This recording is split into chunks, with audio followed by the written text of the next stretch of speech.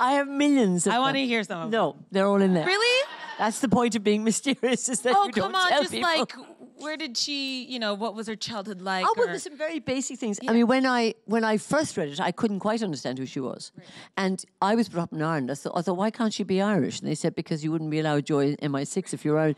Um, and I'm afraid that's still true.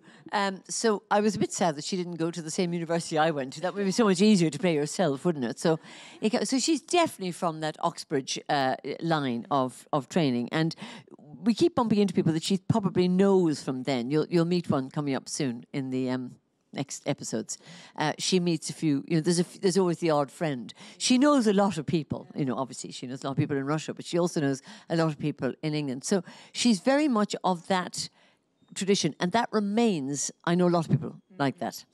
Um, she's also very like my boss uh, when I was at the National Theatre, uh, who's a wonderful woman who's I, I can- who's called Baroness Jenny McIntosh, and um, she is um, uh, I, I, from Jenny, who I absolutely admire and adore.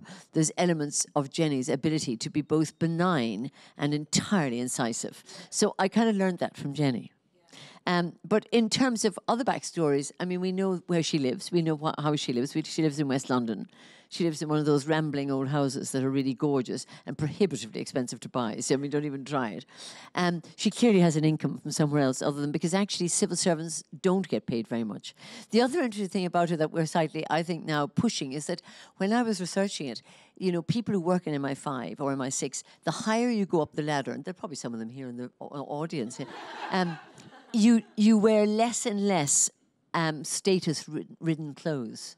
So that if you hang around, and you can see where MI5 is in London, it's down the south of the river.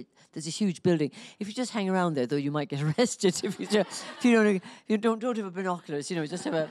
Um, you see them coming out, and the person who looks most ordinary, least well dressed, is probably the boss. But uh, I, I've got more interested in the clothes as we've gone along.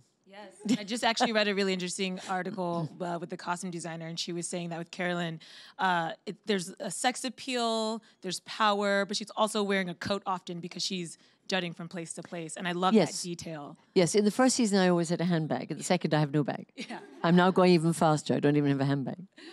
So uh, she's a character who w- obviously we're going to get to see more, but um, do you trust her? Should we trust her? Of course. Course, with your life.